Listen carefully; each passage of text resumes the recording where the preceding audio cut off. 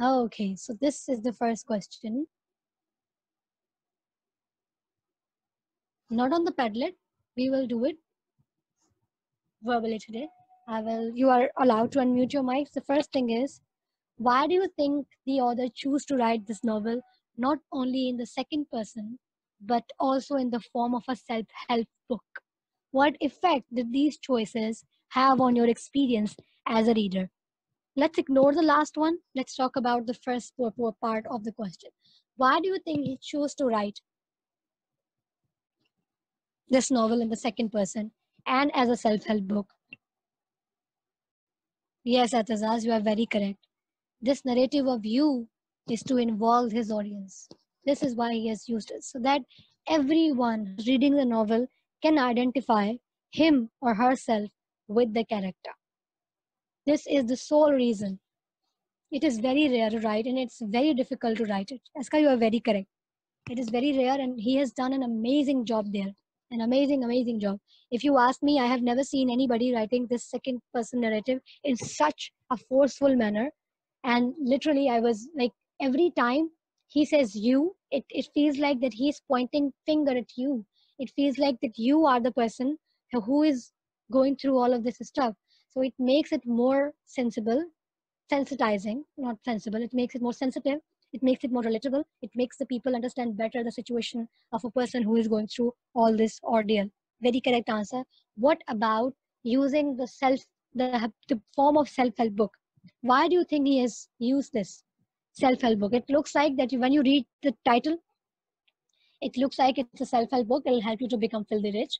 And then when you read the chapters the titles and the beginning passages of this book are like you are reading a self-help book. Who is telling you how to become rich? Saying all right. Okay let me answer this one. See self-help books he has used this self-help book thing to mock it. What is a better way to mock a self-help book than to write a self-help book. If you are trying to criticize something, you also you always do parody, don't you? You are somewhat you see uh, in your farewells. Remember your school farewells uh, when you people used to do your farewells. There were some always imitators who used to do parodies of your teacher. So if you are uh, trying to criticize your teachers, you can also do that. So whenever you are trying to criticize something, you do a parody of that you make fun of it. This is why this form of self-work is the best way to mock self-help book. He has written this to mock these books. And what is a better way to do it than writing a self-help book of your own? Which is quite opposite to a self-help book. It looks like a self-help book, but it is quite opposite. You think that you will learn how to get filthy rich in Rising Asia, but in the end you learn not to become rich on expense of something which is so important that if you lose it, it will never come back.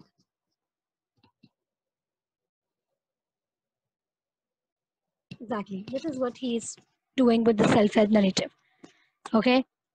The self-help book form is to criticize the self-help genre. No, he's not talking about the pro. He's he's not telling you that that this are these are the problem you should avoid. He's telling you if you decide on this path of getting filthy rich, this is what you get. It is telling you the book is te- in a self-help book you always get uh, all the positive sides of becoming rich. If you get rich you will get this lamborghini uh, this home that home rolex watches this brand that brand. In a self-help book you always get the positive picture of getting rich. This self-help book although is very ironic. It's very satirical. It gives you the real picture. It tells you what a self-help book never tells you that you will become this your life will become this your situation will be this. This is why this book is very different from other self-help books. Yes we can say that somehow. Yes he is depicting the reality of self-help genre self-help books and entrepreneurships. That's very correct. Let's move on to the next question. What do you think is the is the main theme of this novel what did you learn from this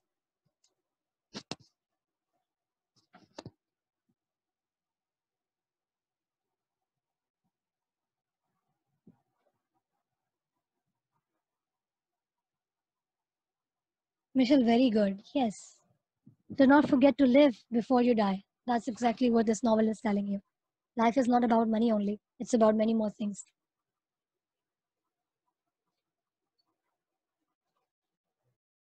Salma, it is not telling you to leave memories and relatives, it is telling you to hold on to them.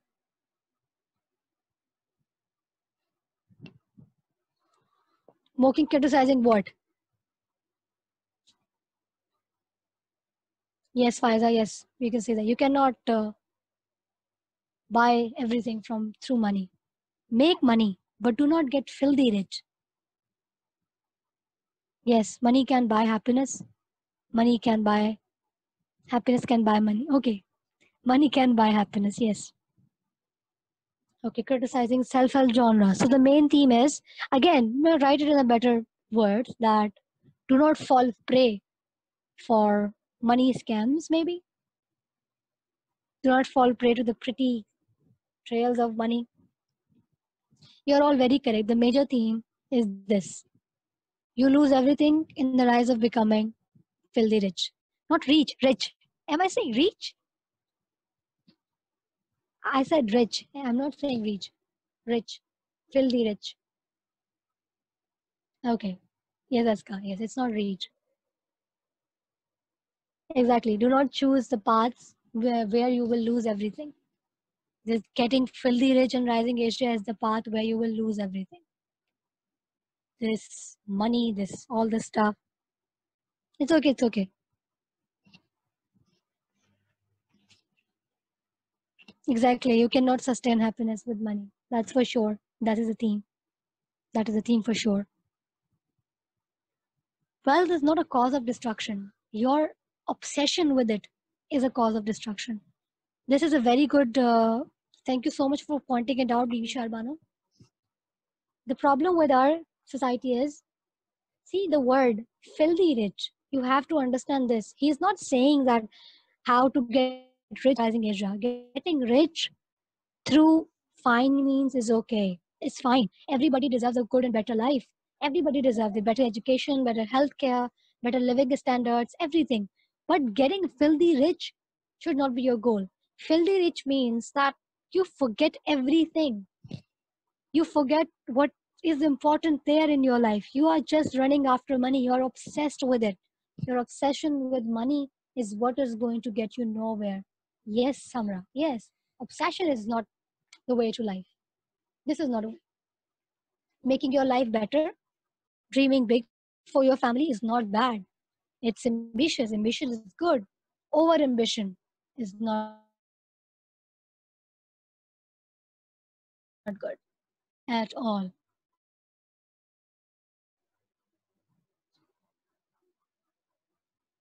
Have you read this play, Dr. Faustus? We have our Dr. Faustus here. See, we have our Dr. Faustus. He was very ambitious. And what happened in the end?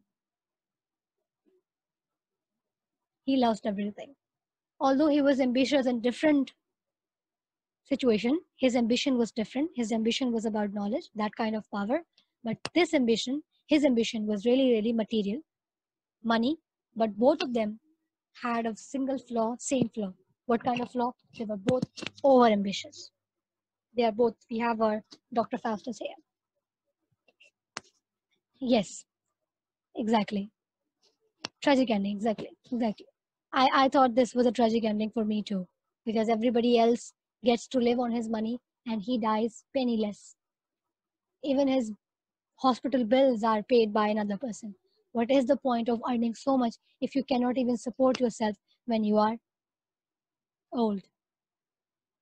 And you need people to protect you from other people. You need people to help you to get through this. We are going to discuss this book and human beings how we connect to this as a Pakistani, as a person, as a Muslim, and what it teaches us in life. What lessons can be done from this book? What are the things which you should be focusing on when you are reading such kind of literature? So, as human beings, we are going to make sense of these books, not as literature students.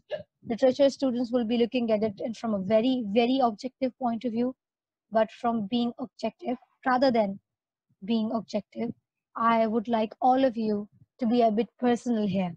Relate these, these conditions to yourself and try to find a way to understand this in, in a personal manner so that you can internalize the lessons here which are being taught to you. Shall we start? How does the transition from rural to urban life affect the family?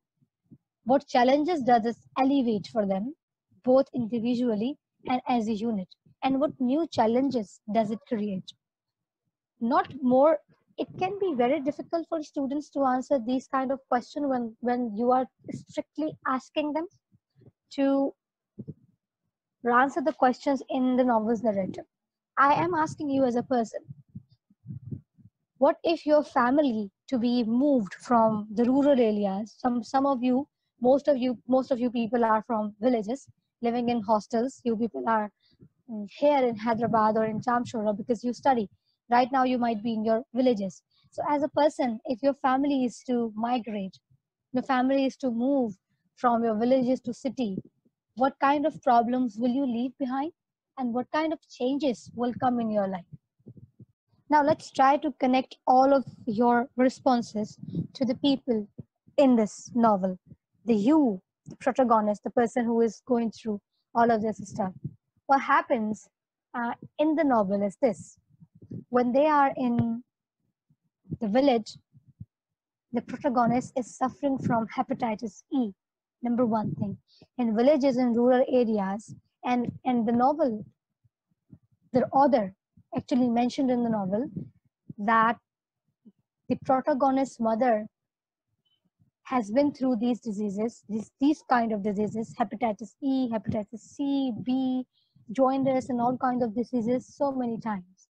So what is one particular thing about living in a rural area, rural area, is having no medical facilities at all although you have uh, you don't have to spend much but you do not have any medical facilities. So the mortality rate there is very very high.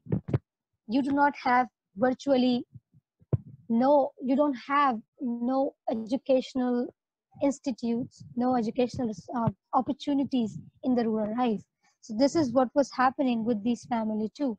They had no medical support. They were living in a very extended family where they had a feud, where the mother of the protagonist had a continual feud with her mother in law, where there were not even bathrooms to go to. You had to go outside in the fields. So you have no basic life needs of a person who wants to live a sophisticated life. And because of no sanitary no proper sanitary facilities, people often get sick. This is what happened there in the novel too. Uh, this protagonist family is sick often because they do not have any uh, medical facilities or sanitary facilities. That's one thing. The other thing was they were living hand to mouth. There were no um, educational facilities or the opportunities to move forward yes people all of your opinion i can read them. So this is what the family was going through in rural life. But when they moved to the city one challenge that was alleviated is that they got electricity. They at least have some kind of access to education. And uh, the elder siblings of the protagonist his elder sister and his elder brother managed to get some work and that somehow increased their per capita family income. And they actually had a chance to be successful in life. So what kind of problems were elevated that they got the opportunity to get education? They had access to some running water bathrooms the particular uh, the fundamental facilities every human being uh, loves or needs. And then they had somewhat exposure of a city where there were opportunities to grow. So these kind of problems were solved. What problems were created when they got into city were that uh, one thing that they were exposed to even bigger diseases, that they were exposed to even bigger challenges, that they were exposed to the competition that they never ever experienced while they were living in a village. So these kind of challenges were created when they moved from the rural life to the urban one. Am I making myself? Is it clear, people? Altazar, you, you are correct. You are correct there. And this is what this this can be deemed as one of the challenge these people, this family was facing. While they were in rural area, you could see some passion between their parents. You could see some love there between the parents. But as soon as they move to uh, the city, they're all consumed by one desire, and that's it earning money we do not see the, the protagonist bonding much with his parents or his younger brothers and sibling. And yes, it can be one. Yes, Fazila, yes, this superficiality thing is very correct. Yes, exactly. Yes, Samra, very good. It does become very mechanical in cities. So, but it it it does sell. Uh, if if I am in a city, if I think of my friends or or my colleagues or the people who touch in my life living in the rural area, when I listen to their problems, no schools, uh, no proper roads, no electricity, no gas, sweet gas, I'm talking about that, no basic needs, no clean water. And when I look at my life in a city, so these things are relatively easy to get by, they are relatively easy to acquire. If you are talking about in the terms of money, water, electricity, opportunities, all these kind of things. So they are relatively, I'm not saying that they're easier in a city, they're relatively easy. And especially in Asia, where where poverty is a defining factor in our societies, where depravity is the defining factor of our societies.